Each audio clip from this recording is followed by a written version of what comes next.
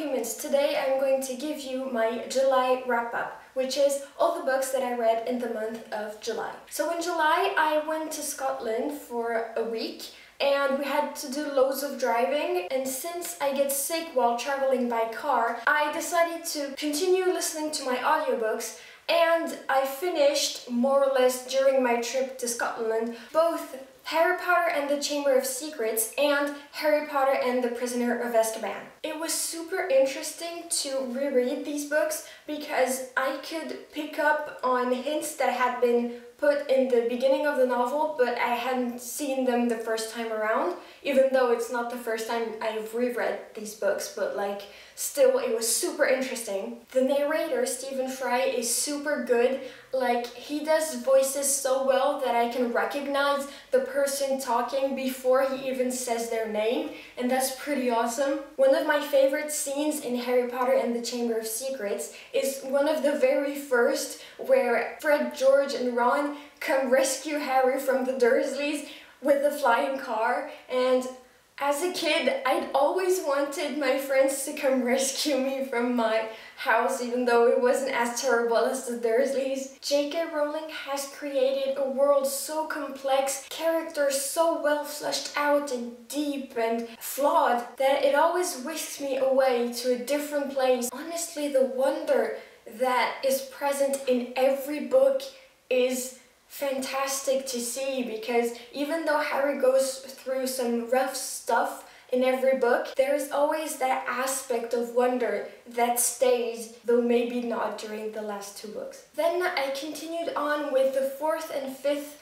comic books of the comic series Batman, which are Year Zero Part 1 and Year Zero part 2. I'm not sure if I'm translating the title correctly again. If you want to know more about the Batman series, you can go check out my May wrap-up and I'll explain everything to you. Though you really don't have to read the first three comic books to read these ones because they're a kind of prequel and the story is about the creation of Batman. Even though this story is in two parts, honestly, these books really stand on their own because they each have a villain and a story attached to them. Honestly, I like these two more than the three other ones because it has a sense of nostalgia but also um, of making something new out of old stuff. Like, they have changed some things, but it's still very true to the origins of Batman. I like I like the first comic book so much that I had to read the second one like right away and I would have ended up finishing it at 3 a.m. if I hadn't stopped. so yeah, I really recommend this comic book series because it's really good. There is a lot of professionalism and they're taking it seriously. In these comic books, however, I've seen two different styles of drawing and I don't know what it means exactly. And and there was one that I didn't like as much as the usual one but it's still very good. And yeah these comic books are awesome. You should read them. So lastly I finished a book that I had been reading for the whole month or probably more and it's Dune by Frank Herbert. So the story follows Paul Atreides, forgive me if I pronounce it incorrectly, who is the son of the Duke Atreides and the lady Jessica, who is a woman who is part of an organization called the Bene Gesserit, who have a special training that make them hyper aware of their surroundings. So one day the emperor asks the duke to give up Paul's home planet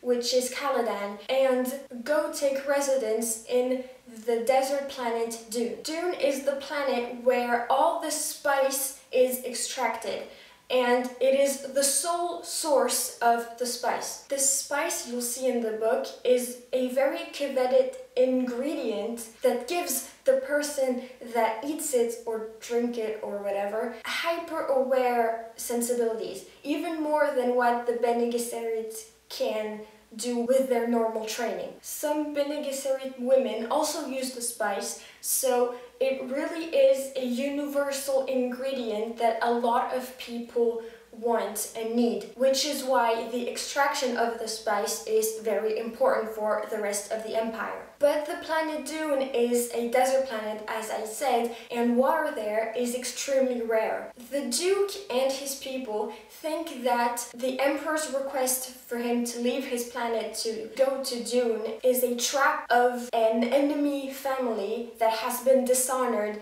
a couple years ago. So the story follows Paul and his mother Jessica and his father Leto Atreides as they go to this desert planet and have to adjust and also be wary because the trap that the enemy family has put there may be lethal. This has been recommended to me by my father saying it's one of the pillars of science fiction and I kind of have to agree. Honestly, it's a long book to read. Like the pacing is really, really slow. It's like slower than Lord of the Rings, honestly. You can read the first 200 pages before anything happens really, but then the story catches up and it's really interesting to see everything that's going on. The world built is really realistic. There's loads of detail and you can see that there has been a lot of thought put through it. The main character though isn't really relatable because he's kind of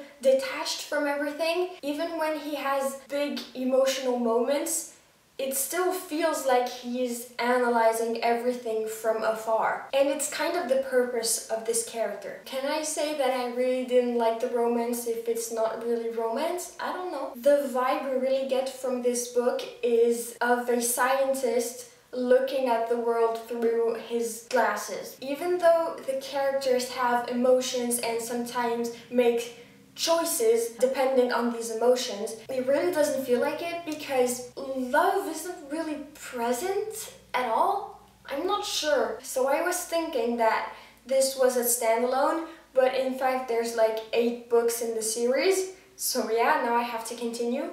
Though you really don't have to because the story really stands on its own. The ending is satisfactory enough that you don't have to. Even though the pacing was really slow, I really enjoyed myself because I like how profound the world is and how the main character progresses even though he was already really gifted from the start. Basically, you could compare it to Lord of the Rings, but like slower and in space. Because the world building has as much detail as Lord of the Rings. Honestly, this is a big book. It's really heavy, even though I've held like thicker books.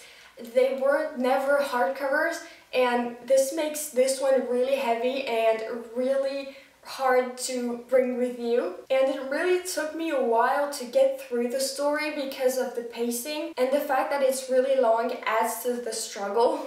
Even though it wasn't really a struggle it was like just long. I'm hesitating between leaving this here because I'm satisfied at how the book ended but I would like to know your opinion. Is the rest as good or worth it? Because it's, it takes a lot of time to get through it. I'd like to know your opinion. So let me know if you've read any of these books and if you have any recommendations of books that I should read, depending on my tastes, if you have determined my taste or not, whatever. Please leave them in the comments below. Like and subscribe if you want to have more videos. And I'll see you in the next video. Bye! Lux.